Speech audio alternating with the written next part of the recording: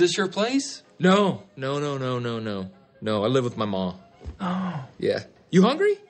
Hey, Ma! Can we get some meatloaf?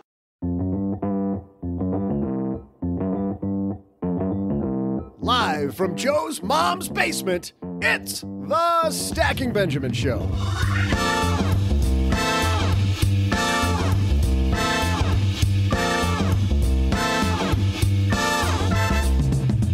I'm Joe's mom's neighbor, Doug, and have you ever felt like you're spinning your wheels, never getting any money saved? Today, we'll share our top five ways to cut expenses now so you can stuff more savings into your plan.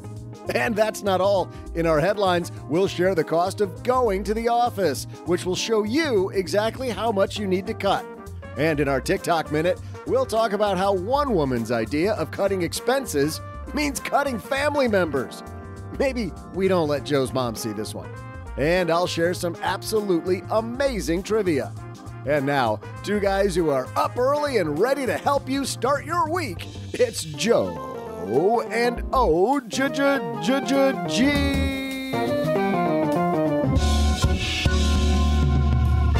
Happy Monday, stackers in America and around the world. Welcome back to the Stacky Benjamin Show, your must listen podcast every Monday, Wednesday, Friday.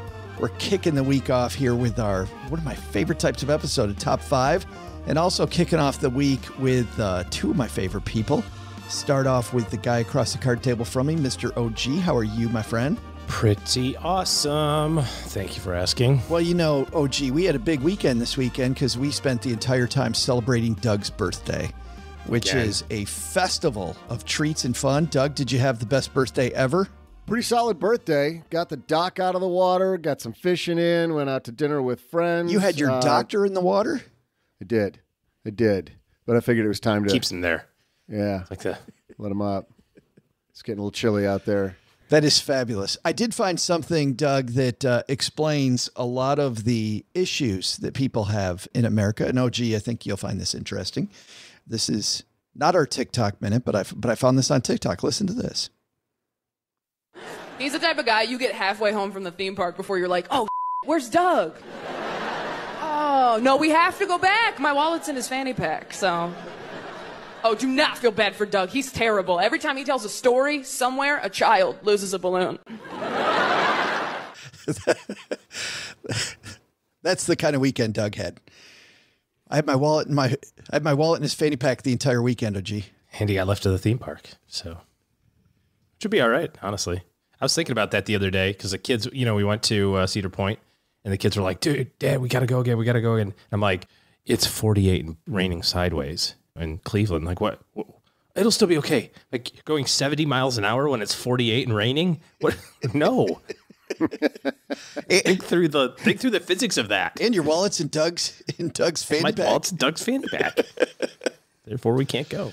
We're talking cutting expenses, maybe the expense of going to Cedar Point during a driving rainstorm, and that might make the list. Doubt it, but it might make the list.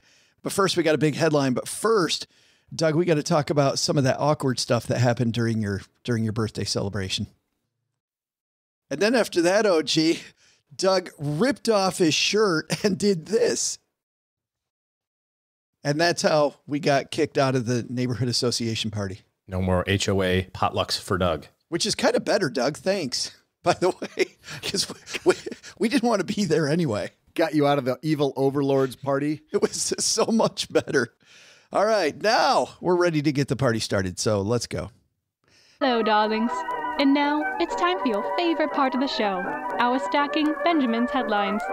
Our headline, by the way, was also found by Doug. Welcome to the show that's all about Doug today, apparently. This one written by Jennifer Liu. Returning to the office is, quote, wildly more expensive today than in 2019. Here's how much people are spending. Remember how right I was sure we were, OG, when we talked about returning to the office might be a great thing? I just remember how adamant Doug was about not returning to the office. Well, apparently Doug wanted to save 51 bucks. $51 a day more than it used to That's a, cost. that's a decent amount. Well, no, not That is more. meaningful. Uh, this is how much workers are spending per day when they go to the office. $16 on lunch. 16 maybe they need to listen to Len Penzo talk about the brown Yeah. bag lunch. Okay. That's quite a lunch. Fourteen dollars on commuting. Uh, on average, that is a com- Gas and tolls and is that all that stuff kind of added up? gotta be. Insurance costs and stuff. Yeah, sure. thirteen dollars on breakfast and coffee. We call that the Starbucks effect. I was gonna say you got to start out the the day with some energy. Yeah, and then uh, eight dollars on parking. That's not that's not part of transportation. Workers with pets also spend an average of $20 per day on pet care. That means full time office workers spending roughly $1,020 every month to report to the workplace. Hybrid workers spend on average $408 per month on attendance. There's no question, uh, says Frank Weishaupt, CEO of Owl Labs. Working from the office is, quote, wildly more expensive today than it was pre pandemic. So you're saying it's fifty dollars more? It's five hundred bucks. It's actually $50 total. I was wrong when I said more. $50. five hundred dollars, six hundred dollars more per month to work in the office. It's some change in your pocket that is not going jing-a-ling-a-ling. I think a lot of people listening to this will say, oh, I'm not spending that much on breakfast or I'm not spending that Yeah. much on commuting or parking. I don't have to pay for parking. I mean, I'm sure if the respondents to this were working in New York or Chicago or in a, in a large urban area where, yeah, there, there's you're going to have to pay for parking, but others don't. But the, I think the point is, even if it's not $51 a day for you, maybe it's 30 that's meaningful, right? A day that adds up. That's significant. And as I proved unequivocally, irrefutably in previous episodes, it's not necessary to be there. Well, it's necessary for the guy that owns a commercial building. That's right. That's right. Sure, right. Cutting that guy out. For the economy, Give that guy a little slack. one might argue it's unnecessary. right. So you should feel like your $51 is just doing your good deed for the day to support the overall economy of your metro area. keep the structure, keep keep the wheels moving. Well, this is a big thing though that people don't think about when they get ready to retire is what cost or work associated. I know we were having this discussion this weekend with some house guests that I have here about just when they stopped working, the amount of the amount less money they spent. They were so surprised by mm-hmm. the huge change to their budget that they didn't realize that they had. Well, it's not only just the, the those costs; it's also the costs of you know your personal upkeep, right? Like making sure that you have a wardrobe that's reasonably business suitable and contemporary and fresh, and and all the stuff that goes into working outside of the office. You know, oh, we got to go to dinner with the boss or go to, you know, just the time aspect of it alone is going to be some savings, not just the financial impacts. So we should all retire. Work from home and then retire. Basically, is the moral of the story. I think an interesting thing is if you're if you're somebody working from home now, but you think you might be going into the office, you think, oh, gee, it makes sense to try to save, you know, fifty bucks a day. Try to stuff fifty bucks a day into your into your savings account, so that uh, if you do go back to the office, it doesn't feel that much more expensive. Seems like this would be a great selling point to your superiors when they do bring up coming back to the office, right?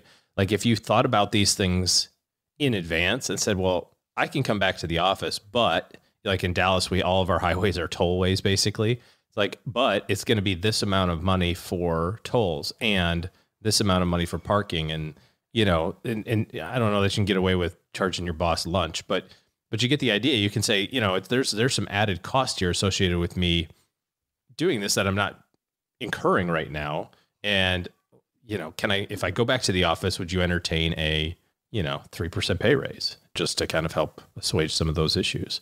I think if you, you know, back to our discussions that we've had about pay increases in the past, if you come with facts, it's a lot easier to, to make your case then I just feel like I need more money more. because you're making me come back to the office. It's like, well, Nebulous more, yeah. yeah. And now all you got to do is go to our show notes at stackingbenjamins.com and uh, click on that link, send it to your boss, and bam, we just got you a pay raise. You're welcome, America. There you go. You're welcome, America. Time for our TikTok minute. This is the part of the show where we dive into a TikTok creator who is either uh, creating brilliance or air quote brilliance on the internet. Uh, oh, OG's got an opinion. Brilliant or air quotes brilliance? Isn't that crazy that I have an opinion? Uh, air quote brilliant, obviously. It's on TikTok. Doug? Uh, well, I already know. I mean, we said I said it in the open, uh, and if people were listening, they already know this is uh, Nobel Prize worthy geniusness. This talks about getting rid of family members. We all have got one or two of those we want to get rid of. So, duh. we played one earlier that a stacker sent about girl math, uh, which is this uh, this thing going on on the internet that they talk about quote girl math. This is now the extension of that that was sent to us by our friend Kate. So now that we all know what girl math is, if you don't have children, let me introduce you to child-free math. I was I'm getting a massage later today and I was like that's $200. That's really expensive. You shouldn't do that. And then I thought you would have spent that on registration fees for soccer camp. Are you kidding me? Gymnastics, all the ice cream you would have had to buy this year, trips to Disney. Disney alone, that's like 3 vacations in child-free math. 3. Horseback riding camp, I'm not having kids, so I can spend my money on me. So there you go. Child free math. If you get to use it, If you just get rid of the kids, OG, you don't have to take them to Cedar Point. I call them my little Ferraris. That's what I do. my three little Ferraris. Kids are so expensive, but I think I agree with Scott Galloway. Scott Galloway said that, you know, you look at statistics and people today in their 20s not having kids, delaying having kids. And he said it's not because they're anti family, it's because they're smart. Kids cost a ton of money. And yet, Galloway says, he's like, but I would encourage everyone to have children. He goes, they will mess up your life, but I will happily take the mess up that is the mess up I've had with my kids all day. Oh, 100%. Yeah. I'd have a thousand of them if Mrs. OG would let that happen. she will not. Just imagine, Doug, that many little mini me OGs running around. It'd be a bad I'd day. rather for, not. Bad day for that neighborhood. Can we not imagine that?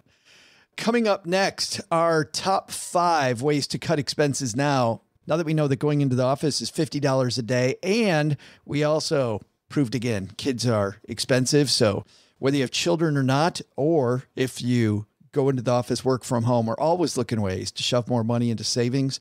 What are some things you can cut now? The key to this top five is cut quickly. Got those? Well, OG and I have them, and uh, we have them right after Doug's going to take us down memory lane. This day in history. Hey there, stackers. I'm Joe's mom's neighbor, Doug, and on today's date, there were a lot of Benjamins changing hands. That's because outlaw Johnny Dillinger, back in 1933, robbed the Central National Bank in Greencastle, Indiana, stealing 75,000 bucks. Proving again there must be better ways to earn a living. After Dillinger robbed two dozen banks and two police sta- wait a minute, police stations. Didn't Johnny know that's where the cops hang out? Federal agents finally caught up to him the following year in 1934, killing the outlaw. But th- hold on, he was in the police stations and they didn't catch him then. They had to catch up with him years later. Anyway, federal agents also were after another outlaw during the same time period. In 1931, one crime boss nicknamed Scarface went to jail for tax evasion. What was his real name? I'll be back right after I figure out how to escape when Joe's mom asked me to wash the windows. What a prison job that is!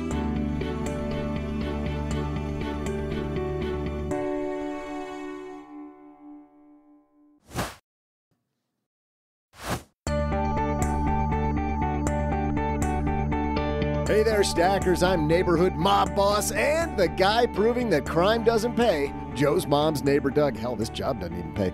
On this day in history, back in 1933, John Dillinger robbed 75K from a bank in Indiana. He was probably making a down payment on his student loans, am I right? But it was another mobster nicknamed Scarface who's the subject of today's trivia. This guy was convicted of tax evasion in 1931, ending his reign of terror.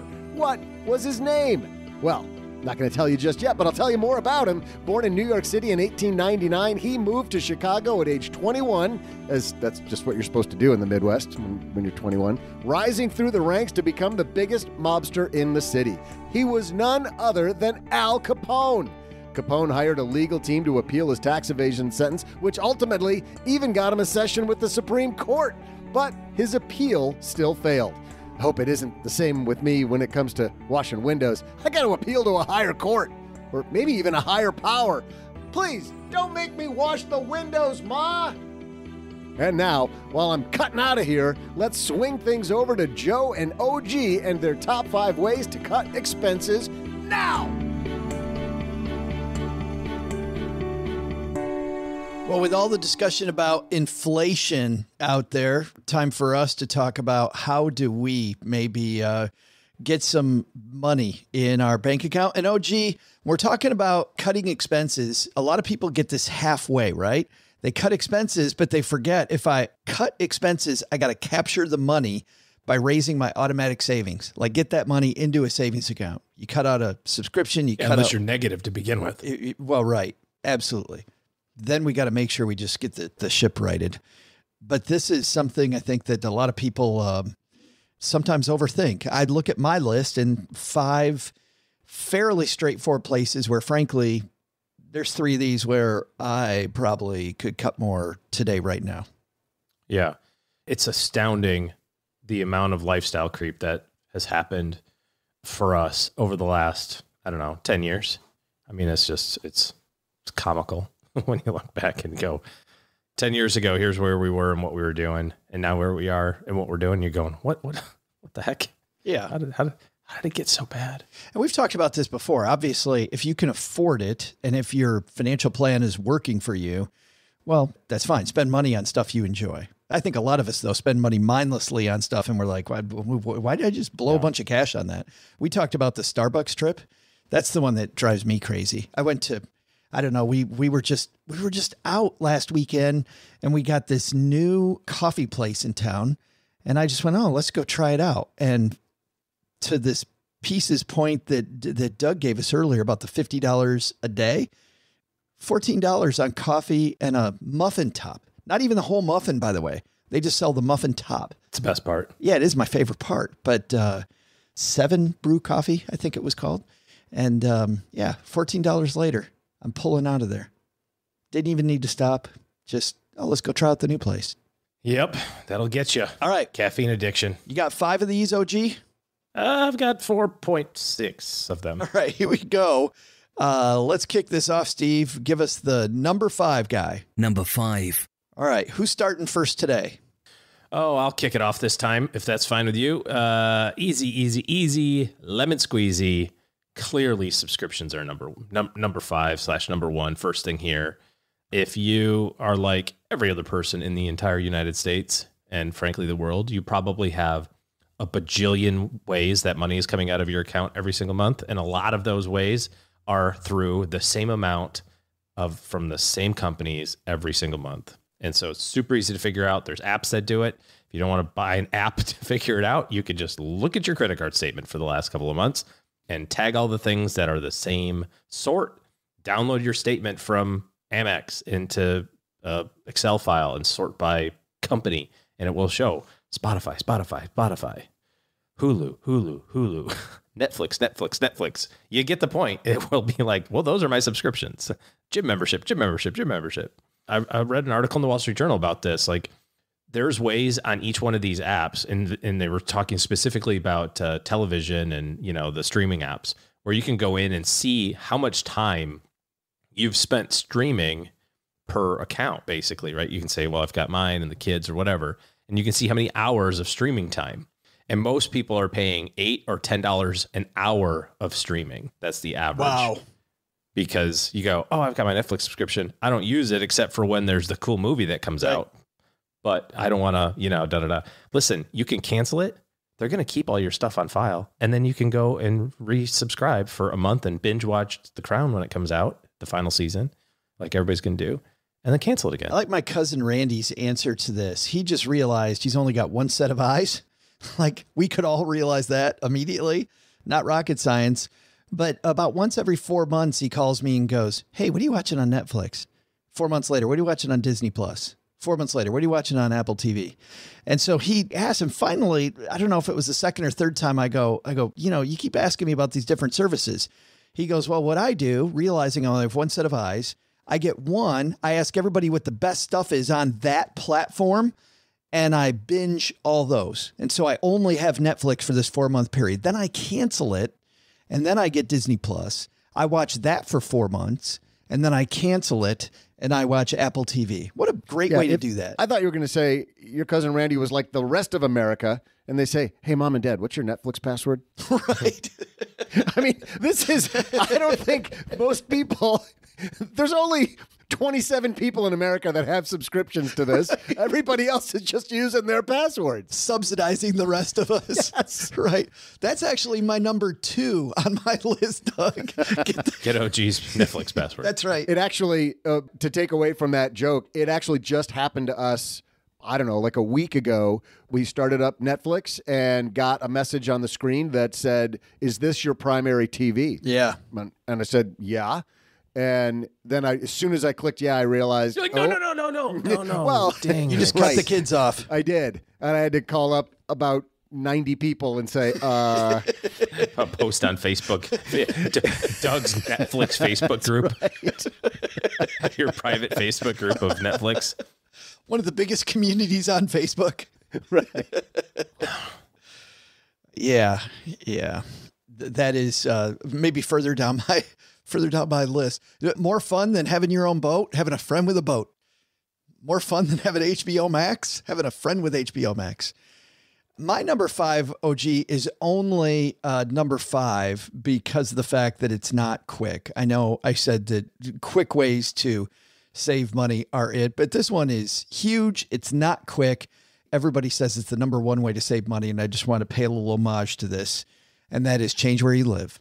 Look at the cost of your housing, and that certainly is not fast. It's not a fast way to change to to get some money at all. But if you really, really, really need more money, stop clipping coupons. Don't worry about the subscription so much.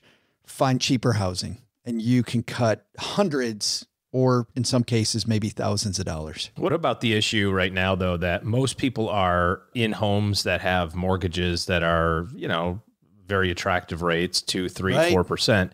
And if you did want to move, right? So if you're like, I live in Metro Dallas and I do want to find a cheaper location and I can move to wherever, but to do that is going to be a much higher interest rate on that house. The affordability might be similar, right? Yeah, I mean, in terms of payments. It's not the easy move that it used to be no. when interest rates were But lower. but there's other costs, right? Smaller home means smaller could mean smaller utility bills, smaller tax bill, smaller insurance payments.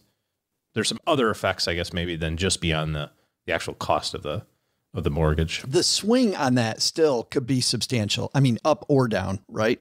Yeah. Uh, when you change houses, it's a big change. When you decide that I'm going to spend a little bit more on groceries, it maybe goes up by 30, 40 bucks. You can do a lot more damage or a lot more uh, for good when it comes to evaluating where you live. So that was that was my number five. Not not not easy, but I wanted to make sure that people knew we were thinking about that. Number four. My number four is to even out the utility bills. That one OG by itself will not save you a dime.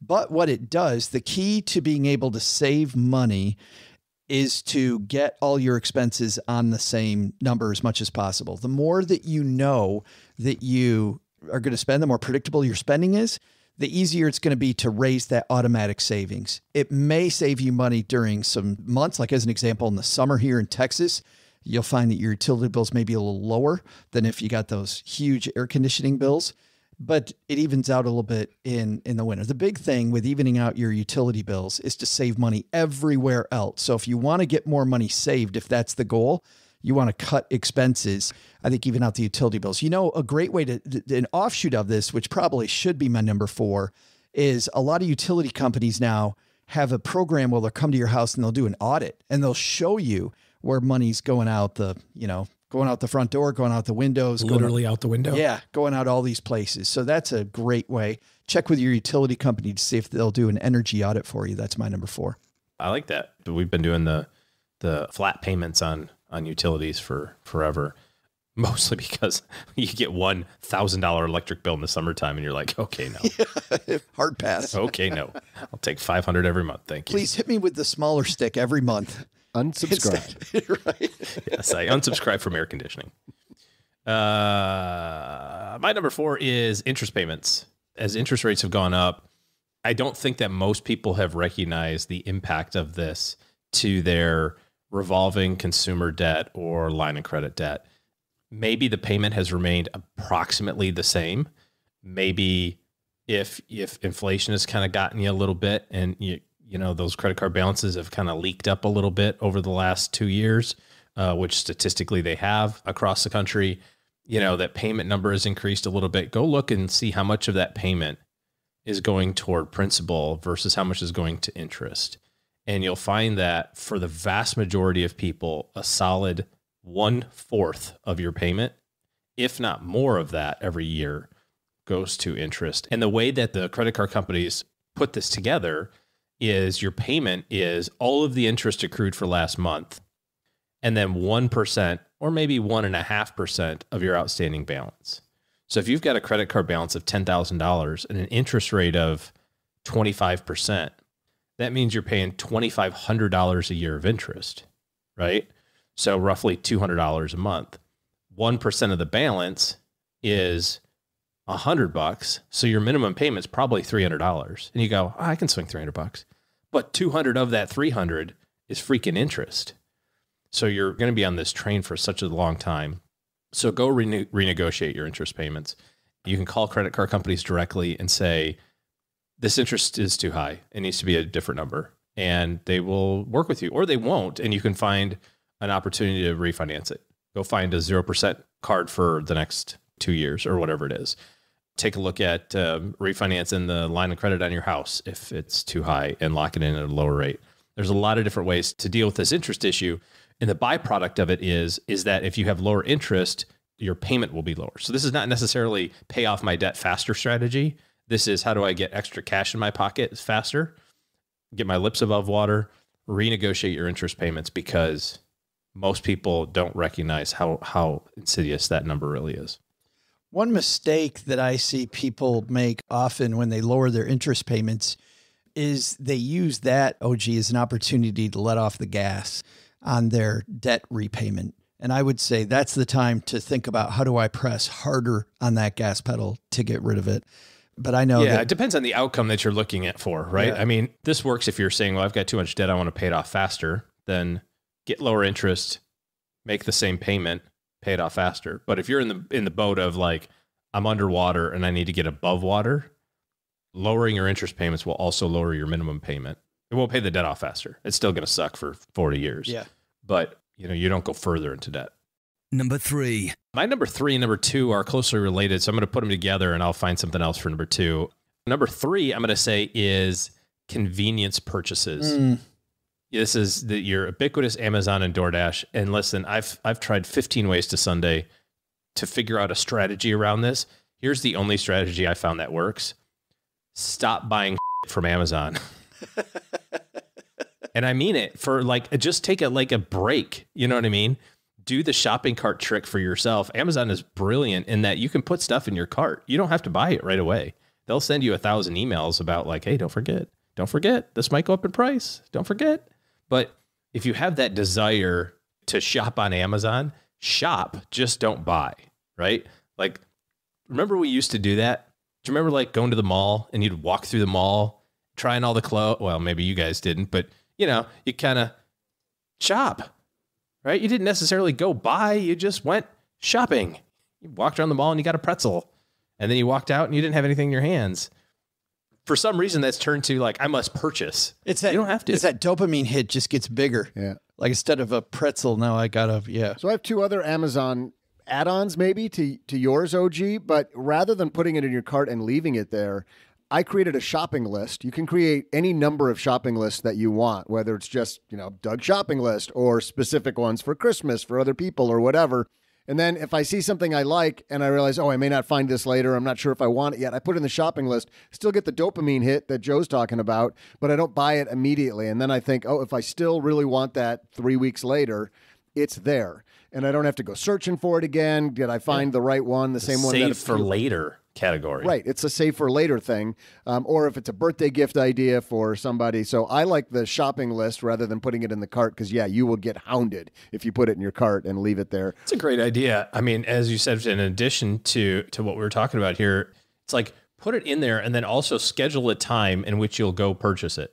Yeah. You know what I mean? Like schedule a review time. You could almost say, okay, I'm going to still get the giggles of hitting the, you know, buy now, except it's not buy now. It's add to add to later or add to shopping cart. Yep. Right. Or add to my shopping list.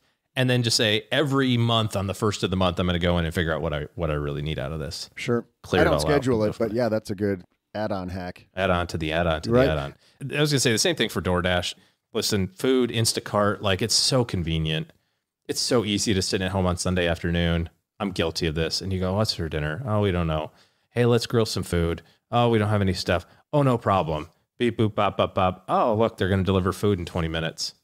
And then you get your credit card bill and it's like, you know, I got 24 wings for $106. It's like, but they were good Yeah. and they were fast. It showed up at my house. I didn't have to put pants on. Just stop doing that just for a period of time. Reset the meter. That's my number three. And OG, I know you moved past uh, Amazon, but I had one other thought that I've noticed um, that's helped a lot on our budget is there are certain staples that I was buying every week at or you know whenever I went to the grocery store that I now have delivered from Amazon and they are significantly cheaper. The example that comes to mind is coffee. And I'm getting the coffee that I drink every day. I'm getting like the bag is twice as big as the one I can get at the grocery store, and it's only like a third more. So I'm buying half as much coffee as I used to. And he's doubly caffeinated. Well, yeah. How else do you think I last on this show when we're recording at like 4 a.m.? That's exactly. But there are times when their subscribe and save really will save you money. I wouldn't suggest doing that in things that you only kind of maybe do once in a while, eat once in a while, whatever. But for those things that are staples for you, whether it's paper towels or coffee or some of those um, daily or weekly use items, consider the subscribe and save thing. That can lower your bill at the grocery store. I like it. I remember on the other side of that argument, OG, as well, on the DoorDash piece, uh, our friend Grant Sabatier, when he came through Detroit with his book tour a few years ago and did an event, talked about the number one thing people buy in New York City on DoorDash at that time was a peanut butter and jelly sandwich and how little peanut butter and jelly sandwiches cost. You were there, Doug, that night, weren't you? When he brought that yeah, up? I was absolutely. I couldn't believe it. Yeah, it Couldn't was believe it. was horrible. And the amount of money people paid for a thing that's very easy to make yourself. And I didn't think that was real until I was at a family member's house and their daughter did not like what they were having for dinner. And uh, just after that, a Burger King bag showed up. And I was like, well, what's the Burger King bag? And uh, this family member said, oh, well, she didn't like dinner, so we got her fast food. And by the way, the kid didn't eat the fast food either. So not only did they did they buy something other than what was being served, there was this huge expense to DoorDash. Later on in the evening, same relative who always is struggling with money, by the way, same relative had stuff show up from CVS that is four blocks away that they had DoorDash and paid the additional DoorDash fee versus even walking over to CVS for the aspirin or whatever it was. Anyway, some people, the mindless spending, OG, to your point, that we spend now on these convenience fees, it sometimes blows blows me away. My number three is in a similar vein, and that is rethink your entertainment budget in general. Where are you spending your money on entertainment stuff? That's your subscription thing. OG, when it comes to having all these different uh, TV subscriptions, I kind of like Doug's plan better. Use somebody else's until they're on to you. But regardless, I think the entertainment budget piece uh, can knock off knock off a lot of money. Where are you spending time for fun? You know, our house guest this weekend, we went out and played disc golf and had a blast for a couple hours down in the beautiful city park we have here in Texarkana. And it was a lot of fun. The end cost was zero for that time. You know, there's lots of times when I spend a lot more money than that having a lot less fun. Did you factor in all the alcohol you had to drink to make it fun? We we we we, we were talking about that. The, the the person who I was with that was pretty funny said, "Well, we got we got to start smoking pot because that's the number one activity." I was going to say that, and I thought, oh no, that's not going to be good for. I'll get edited out if I say weed, so I, I change it to booze. It's no, no, it's all right. It was we've got a well, I should say who our guests are here because we recorded an interview we'll play later. The Pioneers are here. Uh, Corey and Jess spending the weekend with us, and it was uh, super fun. They sound like a folk group from the 60s. the Pioneers. Yeah, Playing a little basement gig in the Greenwich Village. right. Smoking weed, playing ultimate They frisbee. harmonized well together? That's that's right. We had a great, great weekend, but spent no money doing that and had a lot of laughs. So that's my number three. Rethink your entertainment budget. You will find lots of dollars there, OG. Number two. Number two is also two things eat at home and meal plan, which go hand in hand. Because eating at home, we had uh, Frankie Celenza on a couple times. And of course, Frankie talks a lot about food waste. We waste a ton of money. The way to waste less food is to make sure that you've got a pretty solid meal plan so that you, if you can cut the food waste and shop at a grocery store, you will end up healthier, you'll end up happier, and your wallet will be a lot happier than if you spend a lot of time at restaurants. And I find eating at home, especially on a day when I've had a pretty hectic day, to be really fun. Like working on a recipe gets you in the moment, you get out of whatever is in your headspace. If I'm chopping stuff, I got to think about the chopping. I put on some music and just get into cooking. It's such a fun thing to do. I know a lot of people don't cook. Be be be okay with messing it up. Have some fun in the kitchen is my number 2. Eat at home and meal plan. Okay, I agree with that wholeheartedly. We have lots of family dinners. Um, well, you get the whole family involved, OG. I know. Well, yeah, to some degree, but I was thinking about like, um, you know, when I was a kid, almost every meal was at home. You know, we never, never went out, and if we went out, it was to get pizza. You know, and we get pizza once a month ish or something. You know, I mean, it was very, very, very infrequent, but every day was at home. And Lissa cooks at home every day, or we cook at home just about every day. But we're a little bit looser with that. You know, if there's sports something or whatever, you know, we'll grab sandwiches. But most of the time, you know, we cook at home, 80%. But then we were talking to some other friends from from school and they were mentioning something about, you know, going out to eat and da da da. da. We're like, oh yeah, you know, go to eat, whatever. But then it, it was basically like intimating like they go out every day to eat. Yes. Like, oh, you know, Alice doesn't cook. It's like, what do you mean you don't cook? It's not a, you don't have to be a full time job. It's like put two chicken breasts in a pan until they're brown. like you don't even have to like, you like then add salt and pepper. Like it's not, you know what I mean? We're like, what, what do you mean don't cook? I don't, I don't I've got that. I've got a friend who works at the bank. Oh, gee, you know this guy, or you've met this guy before. Works at our local bank. Family of five. They eat every every meal at a restaurant. Every single meal. yeah, that would be boring, I think. Yeah. Well, actually, something you just said about when you mentioned Joe that OG's family, you know, he gets the whole family involved in, in cooking, and it made me think back to some great family memories. Actually, when we were doing some of the meal kit services, you know, now Tucker loves cooking because he helped out with some of the prep from the meal services. Yeah. And then, uh, you know, my mind just started going to all of those great family memories, and it occurred to me the story you just told about your family member whom you wisely did not name uh, who was buying burger king for their for their kid because they didn't like what they cooked and i thought to all of the times we've had people on guests on or call-ins asking about how do i teach my kids about money? You are teaching your kids about money every day. And whether you like it or not when you call doordash whether it's for the whole family meal or it's for the one kid who didn't like, you just taught them here's a good way to spend money. Here's how you can manage your finance. But you don't want to teach them that, right? So the fact that you, that we're cooking at home, you're setting an example of we spend time together as a family, and this is how we spend our money is on on this is the way we eat our food and you're going to set those examples and actually a friend of one of my sons said my god your family spends so much time together and that actually was a negative point to that friend but it's actually a but it's actually a huge i mean i took so much pride Your kids are like, tell me about it. I know. I know. And they're like, God, you guys finish eating dinner together, and then you walk over and sit down and watch a show together on TV. What are you, monsters? What a Like, go- nightmare. go, spend, go, go to your separate corners and go spend time alone. But I took that as the hugest compliment because that's just normal behavior. It's what families do to my kids and to us. It just seems totally normal. So I didn't unwittingly, I didn't realize we were essentially kind of teaching them how to save money because we were cooking at home and, and we build great relationships with each other. And sorry, I'm going to go over here and, and cry for a minute because I just have the warms and fuzzies right now. But but there's so many great examples coming from that. just to add on one more thing, Doug, to what you're saying about like the the meal preparation and that sort of thing. That is the solution. I'm convinced to I don't want to eat that.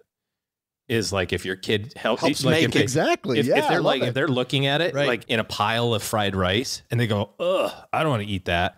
Okay. Versus going, hey, I need the carrots. Oh, like chop, chop, chop. And then you grab one and eat it and go, hey, you want, oh, yeah, I'll have a bite. You know what I mean? Like it's just carrots and rice and onions. And it's like all the things. And then you, they see it all mixed together. Oh, okay. I know what that is. And then you're, you know, we had dinner yesterday and our daughter was like, I don't, I don't know what's this. And it was just a bolognese sauce. It's like, it's spaghetti and meatballs just crushed up. Eat it. Oh, okay. no, You know, like they just, I I mean, it's a, just a it's a pile of romantic stuff. notion, and I, you know, and I, I, I love the idea, OG, but it didn't work with the fin turn. Really? no, No, helping them. no, he loved pizza dough, right? It's a starch, and it's got tomato sauce on it, and it's got cheese. That those exact three ingredients in the form of pasta, nope, was never. And I would help him help me make it, and he'd be like, "Never gonna happen. I'm not eating them." Look What the hell? You like these three things? Yeah, it looks different. I don't like it mixed together. All right. Our daughter growing up uh, said she didn't like fish, which was horrible because it's so healthy and we love fish. And so I decided because she was six years old that we would just stop calling it fish and we'd see if she really knew the difference, right? So she gets home, she and her brother get home from school, and she's like, Dad, what are you making for dinner? And I said, I'm making chicken. So she's like, Oh, yeah, great. Goes into her room later on, call them out for dinner. They sit down at the table and I serve them the salmon that's chicken. And uh, my daughter takes two. The chicken of the sea. My daughter takes two bites and goes, Dad, there's something wrong with this chicken. It tastes like fish. She thought there was a huge problem.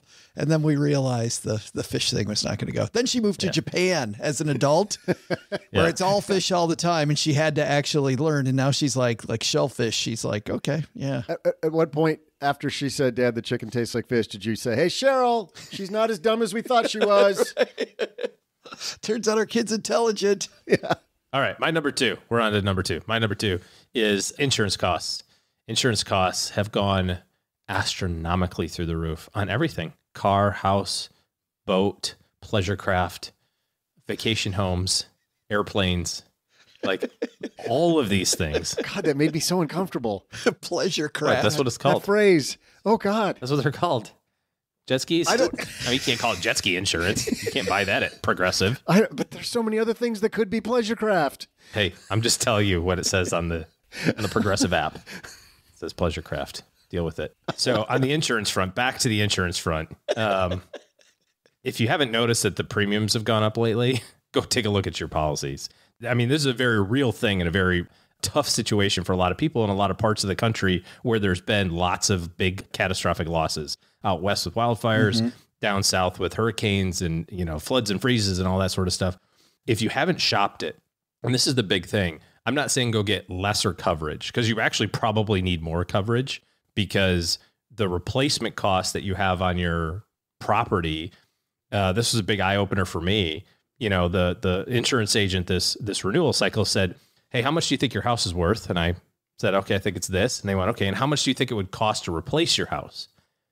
Well, that number is higher, right? Because you got to tear down the old one and build a new one and labor and all that other sort of stuff. So that's the amount you should have your insurance for. But nevertheless, I don't think you should go get less. I think you should shop what you have to make sure that you're getting the best deal a lot of carriers have uh, significantly reduced or tried to price out people in markets that they don't want to do business in. Great example of this is a couple of years ago in the state of Washington, they passed a law that you had to participate in this uh, kind of statewide long-term care program. Right. So different type of insurance, but you know you had to participate unless you could prove that you had your own. And what happened was all of the uh, people that could afford their own said, I'd rather have my own than a policy managed by the state. So they're going to go apply for their own policy. That caused too much of a weighting of all the insurance carriers in that one general area, state of Washington. So most carriers said, well, we're not going to write for that anymore. And the way that we're going to offset our potential risk is we're just, if you do really want it, we're going to raise the premiums astronomically. So different carriers have different specialties. If you're shopping a generic company, let's, you know, like your state farms and farmers and that sort of thing, you can do that on an app. You know, if you have some more sophisticated needs, you need to have a broker that's going to go through all this and make sure that you're getting the best coverage at the best price. My guess is is that you have an opportunity to save some pretty substantial and significant money, and you don't have to wait for your renewal. If you go, my renewal's not till January. What do I do? Cancel the old one once the new one's in place. Put the new one in place tomorrow. Cancel the old one day after. Off we go.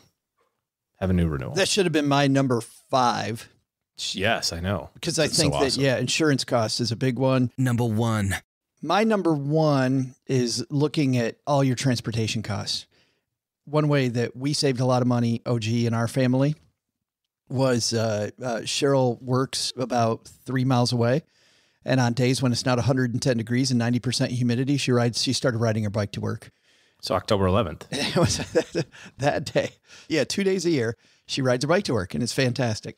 No, it, it really uh, saved a lot of money. She absolutely enjoys riding her bike to work. It's a great way to start your day, nice way to finish your day on the way home. And that was great.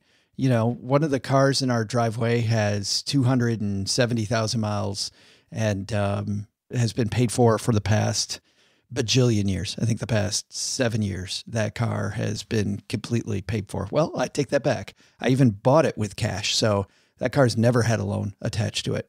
And did you buy it used? I did. Yes. Yeah. Yeah. I mean, I think that's the real major hit or cost savings, I should say, in around transportation. Yeah. Wouldn't you think you're going to save more dollars there than you are riding your bike to work? There are sometimes, you're right. Uh, there are sometimes that, um, though, new cars, a few times, like during the pandemic, a new car was way cheaper than than a used car was. The used car market went through the freaking roof for a while. And uh, we actually saw the crossover point, according to the Wall Street Journal and other major publications. Those times are few and far between. Usually, a great rule of thumb is is go for the used car over the new one. For this particular car, it made a ton of sense to a buy used and not have a car payment. I mean, we've saved a ton of money on, on that vehicle. Oh, gee, that's my number one. Look at your transportation costs. So my number one is uh, don't have your kid break a collarbone. and it's kind of a little tongue in cheek as we're getting ready to go to the hospital. But I want to tell a story about this. And this has nothing to do with saving money fast, but I just think it's an interesting lesson. But it's my number one anyway. It's my number one anyway. So that's why I said I have 4.6. I don't know if this is just going around or if this is the new way of doing things, but um, but we are are headed to surgery for Alex's collarbone here later this morning, and the doctor called last week or their office called on Friday and said, "Okay, so we just we're just ready for uh, for payment then." We're like, "What? What, what are you talking about?" And they said, uh, "Yeah, we're just uh, just just ready for the card number for the doctor payment, the doctor fee." Oh, we have to. No, it's going through insurance. And they're like, "Yeah, yeah, yeah. We've already talked to your insurance. This is how much you're going to owe." So we're going to get that right now. Yep. And you know, it was about two grand. So not the end of the world, but a big check to write on a Friday, you know, at two in the afternoon when you're not expecting it. So we took care of that.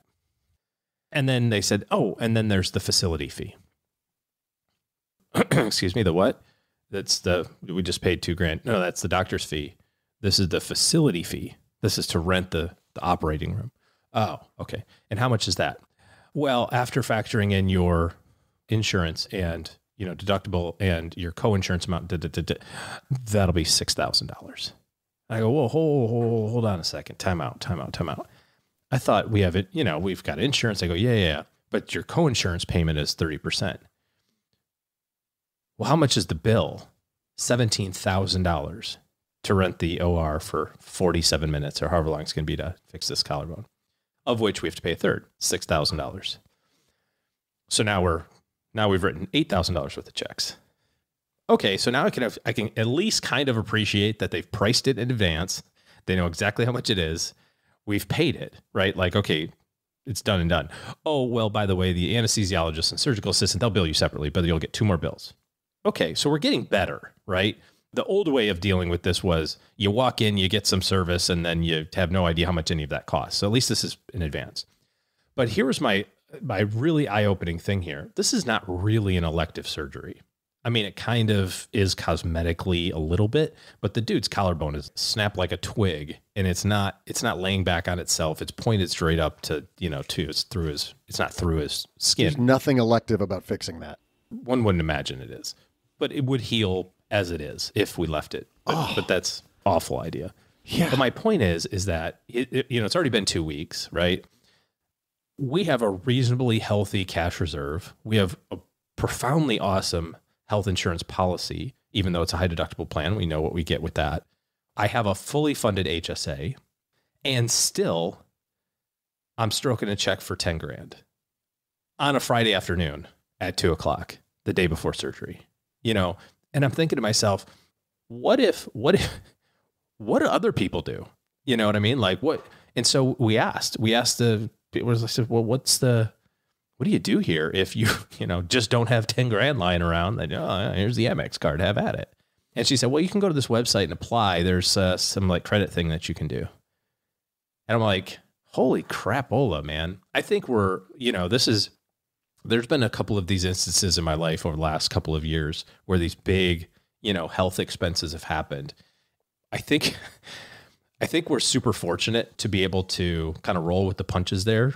But the reality is is that if you're not from a planning standpoint thinking about those big numbers, I think you're doing yourself a disservice. And it's not about like how to save money immediately, but but you need to be able to you know think of the worst thing possible. Like go through your health insurance. We were talking about insurance before and figure out like what is the biggest number I might have to write this year you know, we talk about how great it is to have this high deductible plan because you can do an HSA and all that other cool stuff in the future, which is totally true. But I think it's also important to know like what's my maximum exposure here? And we don't play that side of the, the game, right? We just play the the one side. So, you know, don't have your kid break his collarbone. That would be step one. But if he does, have pre-planned that a little bit so that, you know, if you're hit with these things, at least you've got the plan on the shelf of like, here's where we'll go to, you know, my my my wish for this organization would have been it's been two weeks. You knew that this was coming. Like, why did you wait until the day before? Like, what if I didn't have a credit card with a ten thousand dollar limit or checking account with ten thousand in it? Like, would we have to cancel? Like, I didn't. You know, it's just a weird timing. But but I think there's that other half of it, which is to save money in the future. You have to plan for those worst things now, so that you don't have to. Uh, you know, you don't have to charge it. You don't have to do those things. So, anyways, it's just kind of a personal story there that I thought was important to share. Wow. No, and, I, am glad you did because the the healthcare minefield is so big and fraught with so many gotchas. And man, I should have done that differently. We have an episode that we can point to on our YouTube channel where we talked to Scott Heiser about this, an insurance expert who really one of my favorite episodes of all time, OG, because of the fact that he talked about even by going not you know, we hear about people going to Mexico for coverage or going overseas to get surgeries done. You can go across town and get remotely different pricing than you got at the same place. And also talking about asking the question about what the procedures are going to cost. He walks through the upside of just asking what your coverage is going to cost, even if you have insurance to cover it. What does what does that cost? We're all responsible for that. And we'll link to uh, Scott and I discussing that on our YouTube channel at our show notes page at stackingbenjamins.com. That's our top five list. Lots of ways to cut expenses. Remember, when you do that, if you're not upside down right now, to capture that though, if you find some savings, add it to your automatic savings so that it goes into your savings account, your 401k, into your Roth IRA, wherever you want that to be for your plan, so that you actually capture that money. Right now is the time when we normally do the Haven Lifeline. However, looking at the time, OG, I think we're going to go ahead and skip that segment for today. Uh, episode's running a little long. Instead, we'll move right to the community calendar. Doug, uh, what do we got coming up on the community calendar, man? Joe, you know what's really big happening uh, later this week is Katie Krimitsos is joining us on Instagram Live. So that's going to be fun. That's going to be a good That's going to be super good. You've heard us talk about Katie's amazing podcast and meditation. She leads the Women's Meditation Network, but she's going to uh, teach people how to maybe get calmer about their money, OG, how to relax. That's so like stressed out like me. Yeah, maybe, maybe, you need to go to that one yourself. What do you mean? I am calm. That's a, never in the history of calm down saying calm down. That's going to be at a different time than normal. We have had some people go, you know what? I can't make the usual time. Well, this could be good news for you. It's going to be 1 p.m. Eastern, uh, noon Central, 10 a.m. Pacific. That means Mountain. You're at 11 a.m. If I, my math is correct. So uh, that's Thursday. Look at you showing off. Damn. Thursday, uh, 1 p.m. Eastern. Katie Krimitsos joining us for an Instagram live on uh, some relaxation techniques when it comes to money. Going to be good stuff there. We also coming up on Wednesday have the founder of Panera Bread joining us. Ron Shaich is going to be on the show talking about lessons learned from creating Panera Bread. All right, that's going to do it for today. If you're not here because you uh, want a bread bowl or you're here, you're not here to calm down about your money. Well, maybe you want to come down about your money because you need to make better decisions with your money. OG and his team are taking clients. So head to stackingbenjamins.com slash OG for more. You know, Joe, this is normally the place where I would say, let's go out on the back porch and have a cocktail. But we just got a great story, personal story from OG about not breaking collarbones. So what do you say we just wrap it up? I think we did. Let's do it. What should we have learned today, Doug? Well, first, take some advice from Joe and OG. Don't just cut expenses, find a way to get that money socked away today. Second, take advice from our headline if you're going into work, you may need to cut expenses right now. But the big lesson? If you're appealing to Joe's mom to get out of washing dishes, it's a good idea to bring a bribe. Or four. That judge is as corrupt as it gets. This show is the property of SB Podcasts, LLC, copyright 2023, and is created by Joe Saul-Sehy. Our producer is Karen Repine. This show was written by Lisa Curry, who's also the host of the Long Story Long podcast, with help from me, Joe, and Doc G from the Earn and Invest podcast. Kevin Bailey helps us take a deeper dive into all the topics covered on each episode in our newsletter called The 201. You'll find the 411 on all things money at The 201. Just visit stackingbenjamins.com slash 201. Wonder how beautiful we all are? Of course, you'll never know if you don't check out our YouTube version of this show, engineered by Tina Eichenberg. Then you'll see once and for all that I'm the best thing going for this podcast. Once we bottle up all this goodness, we ship it to our engineer, the amazing Steve Stewart. Steve helps the rest of our team sound nearly as good as I do right now. Want to chat with friends about the show later? Mom's friend Gertrude and Kate Youngkin are our social media coordinators, and Gertrude is the room mother in our Facebook group called The Basement. Say hello when you see us posting online. To join all the basement fun with other stackers, type stackingbenjamins.com slash basement. Not only should you not take advice from these nerds, don't take advice from people you don't know. This show is for entertainment purposes only. Before making any financial decisions, speak with a real financial advisor. I'm Joe's mom's neighbor, Doug, and we'll see you next time back here at the Stacking Benjamin Show.